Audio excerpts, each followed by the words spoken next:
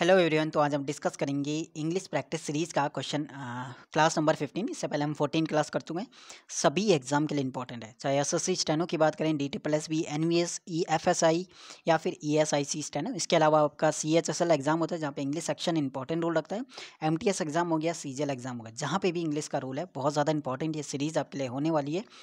हर एक क्लास को इंपॉर्टेंट लेते हुए चलना। और कोई भी डाउट है, वो चीज़ आप कमेंट सेक्शन में पूछना, नहीं तो आप टेलीग्राम पे पूछ सकते हो। वन ज़ीरो वन तक क्वेश्चन नंबर मैं करा चुका हूँ। आपका क्लास नंबर फोर्टीन में, क्लास नंबर फिफ्टीन में हम डिस्कस करेंगे question number one zero two C. और फ़र्स्ट क्वेश्चन आपका, the daily commuters, the daily commuters is waiting to the bus which is widely popularized in the country for its excellent services. The daily commuters, इसका subject देखो, subject है इसका plural. जब subject plural है तो verb भी तो plural आना चाहिए तो यहाँ पे इस तो वैसे ही नहीं आएगा। तो इसका मतलब नो इम्प्रूवमेंट सेक्शन नहीं आएगा आपका। पहले वाले में भी इज़ है तो ये भी नहीं आ सकता। या तो बी आएगा या डी आएगा। आपको पता है कि वेटिंग के साथ हम यूज़ करते हैं प्रीपोजिशन फोर का। वेटिंग फोर यूज़ करते हैं, ठीक है? तो वेटिंग फोर के हिसाब से ऑप्शन नंबर डी इसका राइट हो जाएगा। 103 not only it was raining all day at the wedding, but also the band was late. Not only ये आपका है inversion rule in inversion rule inversion rule ये कहता है कि आपका जब कंजक्शन जब आपका हार्डली हो गया स्कारसली हो गया, ठीक है? नॉट ओनली हो गया इनसे जब आपका सेंटेंस स्टार्ट होगा ना तो उसके बाद आपको वर्ब यूज़ करना है और फिर आपका सब्जेक्ट आना चाहिए। वही चीज़ यहाँ पे नॉट ओनली आ चुका है तो यहाँ पे वॉज़ पहले आएगा, फिर इट बाद में नॉट ओनली वॉज़ इट यहाँ पे राइट होना चाहिए तो यहाँ पे आप देखोगे ऑप्शन नंबर किसमें थर्ड में ये चीज़ लिखा हुआ है। ठीक है? वॉज़ इट यानी ऑप्शन नंबर थर्ड में ये चीज़ लिखा हुआ है। यहाँ पे डज इट नहीं आएगा सेकेंड वाला तो इसलिए नहीं आएगा क्योंकि आगे जाके पास्ट की बात कर रहा है वॉज़ लेट फ़र्स्ट वाला इसलिए नहीं आएगा क्योंकि इट इज़ ए प्रेजेंट का ही हो गया। बात पास्ट की हो रही तो प्रेजेंट है तो वैसे नहीं आएगा। और डी ऑप्शन आपका वैसे नहीं आएगा क्योंकि आपका इट के बाद वॉज़ है वॉज़ आपका वॉज़ के बाद इट होना चाहिए था। तो ऑप्शन नंबर थर्ड इसका राइट हो जाएगा। याद चीज़ रखना है, ठीक है ये चीज़। Not only but also not only हो गया हार्डली हो गया स्कार्सली हो गया नो सूनर हो गया शूनर हो गया, इनसे सेंटेंस स्टार्ट होता है तो उसके बाद आपका वब आएगा और फिर आपका सब्जेक्ट आएगा। ये इन्वर्जन का रूल कहता है। वन ज़ीरो फोर देखो। A strong feeling of dislike toward someone on something किसी के प्रति बहुत ज़्यादा नफरत है या फिर नापसंदगी है, उसे क्या कहते हैं? उसे कहते हैं हम एंटीपैथी एंटीपैथी यूज़ करते हैं। एंटी तो वैसे ही पता है कि एंटी आपका एंटोनियम अपोजिट होता है, जो विरोधी होता है, बहुत ज़्यादा जो नफरत करने वाला है तो उसके लिए यूज़ करते हैं। तो ए एन टी से भी आप ये चीज़ आता है। अब आता है एम्पैथी या सिंपैथी या फिर टैली टेलीपैथी जो माइंड की जो पढ़ लेता है माइंड में क्या चल रहा है, ये चीज़ पढ़ता है ना टेली कम्युनिकेशंस करते हैं माइंड को लेकर। तो ये माइंड से रिलेटेड होता है टेलीपैथी सिंपेथी होता है सिंपति दिखाना, ठीक है? किसी किसी के प्रति सिंपति दिखाना, ठीक है? अब सिंपति क्या होता है और एम्पैथी क्या होता है? क्योंकि दोनों का मतलब तो वही होता है, ठीक है? सिंपति दिखाना या एम्पैथी दिखाना।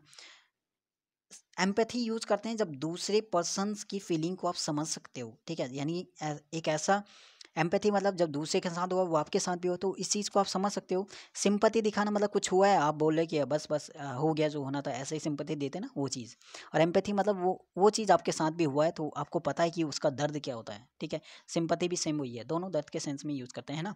किसी को सांत्वना देना तो ये आता है सिंपथी, एम्पैथी, है ना? टेलीपैथी आपका माइंड को, माइंड से रिलेटेड होता है, और एंटीपैथी आपका डिसलाइक वाला पर्सन, जो नफरत करने वाला ना पसंद करने वाला, है ना? वन ज़ीरो फाइव नंबर का क्वेश्चन आपका है कि आपको बताना है यहाँ पे क्या चीज़? ये active passive, okay? The government is to launch a new affordable housing scheme. Is to launch a, to plus जब टू से स्टार्ट होगा ना एक्टिव में तो आपको जब पैसे बनाओगे तो to be plus V three form में वो चेंज होगा। ठीक है? A new affordable housing scheme, okay? तो क्या आएगा? To be launched is to be launch is to be launch, देखो कहाँ पे है इज़ टू बी लॉन्च ये रहा। तो बी ऑप्शन यहाँ पे राइट होगा। यहाँ पे इज़ चेंज नहीं होगा। यहाँ पे इज़ वर्ब सेम वही रहेगा। यहाँ पे वॉज़ होता है तो वॉज़ आता है वर आता है तो वर होता है। ये चेंज नहीं होगा। आपको बस ये चेंज करना। टू लॉन्च नहीं होगा। यहाँ पे टू बी लॉन्च आपको कर देना है ना? पैसे में। ये रूल है आपका, याद रखना है। जहाँ पे आपका टू आएगा तो वहाँ पे चेंज हो जाएगा वो to be plus V three form में समथिंग डैट कैन अवॉइड, कुछ ऐसा जिसे हम अवॉइड नहीं कर सकते, जिससे छुटकारा ना पाया जा सके, इनएविटेबल या जिसे टाला ना जा सके, यही चीज़ तो होता है, ऑप्शन नंबर थर्ड ठीक है। इनडेलीबल मतलब होता है जो खाने योग्य ना हो, इनफॉलिबल जो गलती ना करे, मिस्टेक ना करे, इनविंसिबल जो अजय है और जिसे हराया ना जा सके। वन ज़ीरो सेवन नंबर का क्वेश्चन यहाँ पे है, इसमें बताना है पी क्यू आर एस तो बताना है पैराजम्पल का ये क्वेश्चन है। The temperature, the temperate grass grasslands of North America are known as the Petr prairies okay they have they say तो स्टार्ट नहीं होगा। The people of this region this region का मतलब इससे पहले वो बात करेगा तो ये तो नहीं आएगा। इसके बाद इट से तो वैसे ही स्टार्ट नहीं होगा। तो ऑप्शन फ़र्स्ट में हमारा पी आएगा ओके अब पी देखो इसमें इसमें ऑप्शन नंबर सी में तो यही आप डायरेक्ट लगा दो। वन ज़ीरो सेवन का ऑप्शन नंबर थर्ड तो इस टाइप से कुछ पैराजम्पल ऐसे होते हैं जो आपके सेकंड में हो जाएँगे, है ना?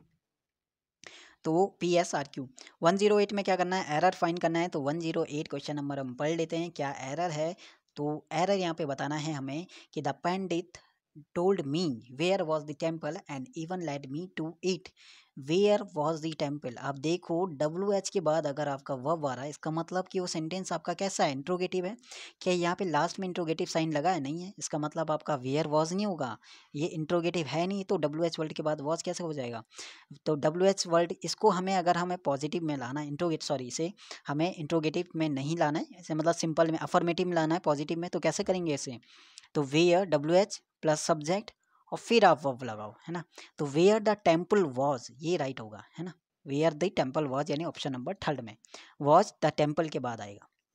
One nine one zero nine में भी error find no improvement section बताना है कि as per the investigative agencies के अकॉर्डिंग बात करें एन इंटरनेशनल जो ड्रग लॉर्ड है हैज़ बीन लिविंग जो रह रहा है मुंबई में सिंस लास्ट फोर ईयर अभी मैंने बोला था कि सिंस यूज़ करते हैं पॉइंट ऑफ़ टाइम के लिए। पॉइंट ऑफ़ टाइम के लिए हम यूज़ करते हैं किसका?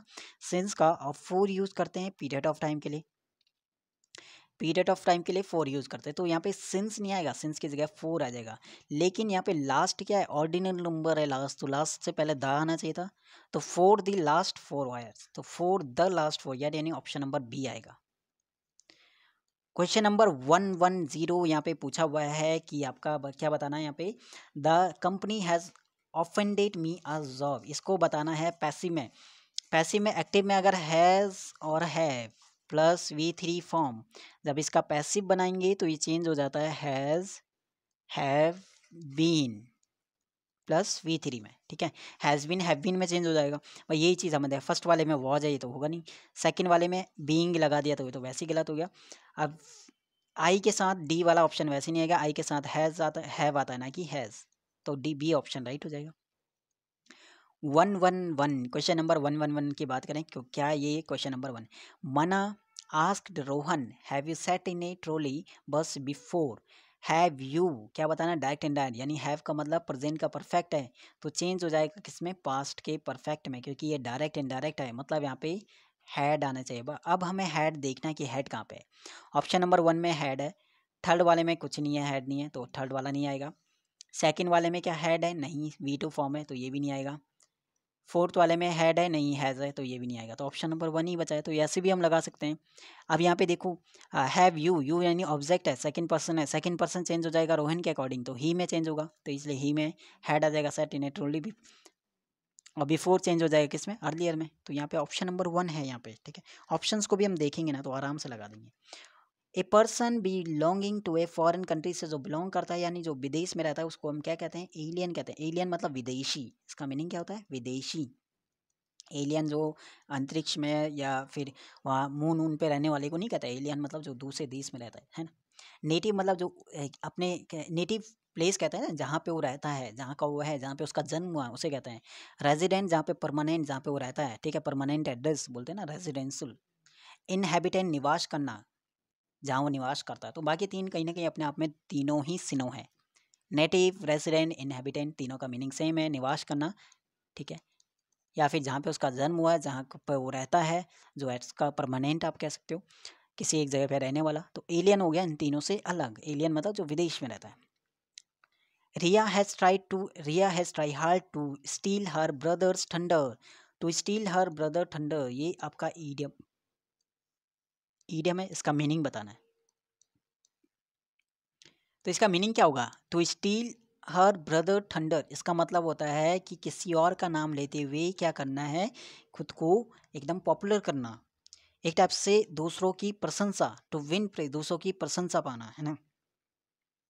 आप कह सकते हो to win praise for oneself by someone autumn okay तो यहाँ पे to to win praise okay to win praise एक टाइप से प्रशंसा पी आर ए आई है प्रशंसा प्राप्त करना, ठीक है? तो इसके लिए यूज़ करते हैं।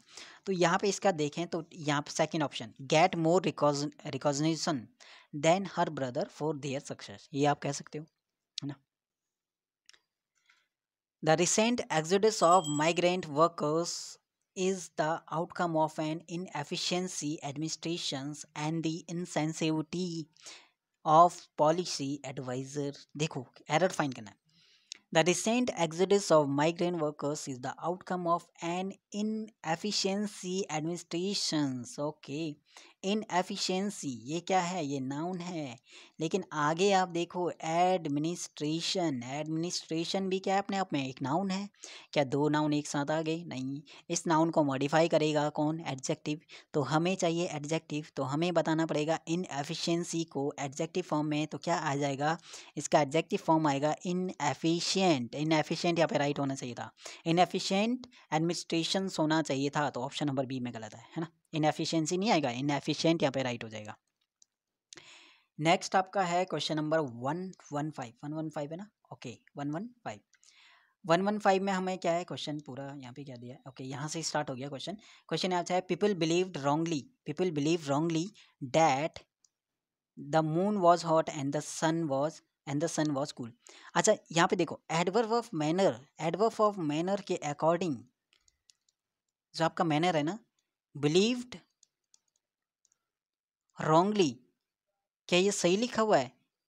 या आप इसे बोलोगे रॉन्गली बिलीव्ड रॉन्गली बिलीव्ड आपका जो मैनर है ना, कैसे बता रहा है गलत है? ये गलत बता रहा है मैनर बता रहा है, ठीक है? एडवर्ब मैनर तो ये हमें वर्ब से पहले यूज़ करना है। ये वर्ब से पहले यूज़ होता है। तो रॉन्गली बिलीव्ड आएगा ना कि बिलीव्ड रॉन्गली होगा, ठीक है? तो इसका हो जाएगा wrongly believed option number D question number one one six यहाँ पे पूछा है। Question number one one six question number one one six की अगर बात करें तो वन वन सिक्स आपका क्या कहता है? इन डाइट बताना है। तो he said to me I have I have lived in here for most of my life I have have है प्रजेंट का परफेक्ट प्रजेंट का ये लिखा हुआ है परफेक्ट तो जब इसे चेंज करेंगे तो ये हो जाएगा पास्ट का परफेक्ट ओके तो हमारे पास आना चाहिए था हेड अब आप ढूंढो कि हेड कहाँ पे है ना? हेड कहाँ पे ही है? फ़र्स्ट वाले में हैज़ है, गलत। थर्ड वाले में हैव है, गलत। अब सेकंड या फोर्थ, दोनों में हैड है। अब देखो, जो हेयर है ना हेयर डायरेक्ट इनडायरेक्ट में चेंज हो जाता है किसमें? देयर में। तो दोनों में भी देयर है। तो he told me that he had lived there for most of my my यानी फ़र्स्ट पर्सन चेंज होगा जाएगा हमारा सब्जेक्ट के अकॉर्डिंग तो यहाँ पे ही के अकॉर्डिंग आपका चेंज होगा माई तो माई चेंज होगा ही के अकॉर्डिंग तो किसमें चेंज हो जाएगा? हिज में तो देखो बी ऑप्शन ठीक है है ना? फोर्थ ऑप्शन में माई लिखा है तो इसलिए आपका गलत हो जाएगा।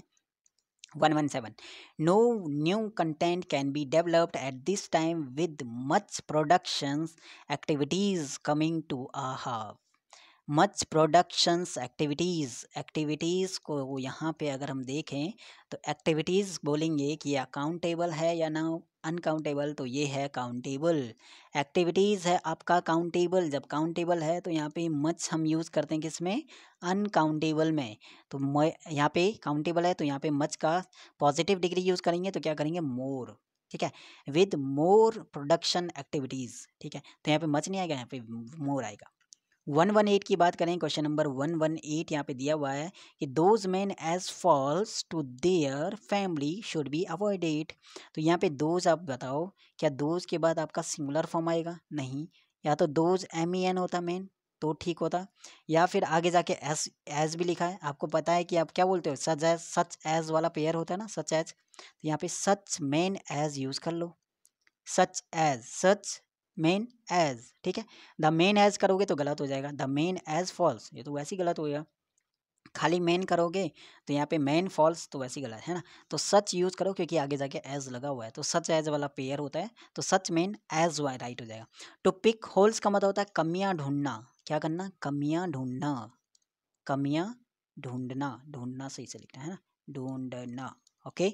कमियाँ ढूंढना। कमियाँ ढूंढना देखो उधर to find the weak points in something किसी में वीक पॉइंट्स को ढूंढना तो ऑप्शन नंबर थर्ड इसका राइट था। वन टू ज़ीरो यहाँ पे क्वेश्चन नंबर है तो वन टू ज़ीरो का यहाँ पे बताना है P Q R S for example okay it takes thousands of years it take it से स्टार्ट हुआ मतलब नहीं होगा। The rate of information is much smaller than the rate at which the human consume these any minerals, okay? दस दस से start नहीं होगा sentence okay minerals are a non renewable source S से या तो एस आएगा या क्यू आएगा ओके एस आएगा या क्यू आएगा? क्यू तो यहाँ पे दिया नहीं है तो क्यू तो आर तो वैसे ही नहीं आएगा। तो इसके बाद मतलब हमारे पास क्या बचा? है एस तो एस आ जाएगा।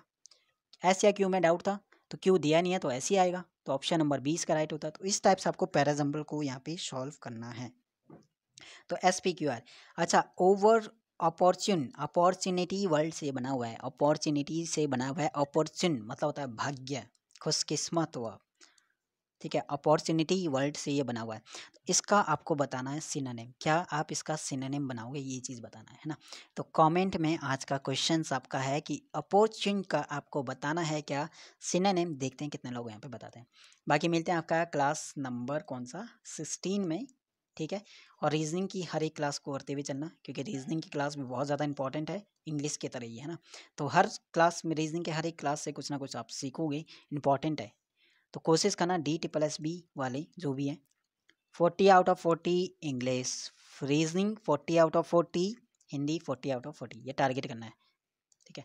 बाकी हिंदी क्लास भी यहाँ पे कंप्लीट हो जाएगी, बाकी शुक्रिया, take care, all the best, bye bye. कोई कमेंट, कोई आपका डाउट है तो कमेंट सेक्शन पूछो, नहीं तो टेलीग्राम पे आप पूछ सकते हो।